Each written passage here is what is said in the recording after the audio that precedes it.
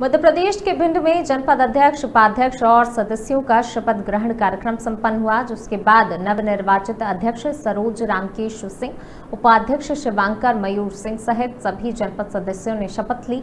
इस दौरान नवनिर्वाचित अध्यक्ष, उपाध्यक्ष ने एक दूसरे का फूल माला पहनाकर स्वागत किया।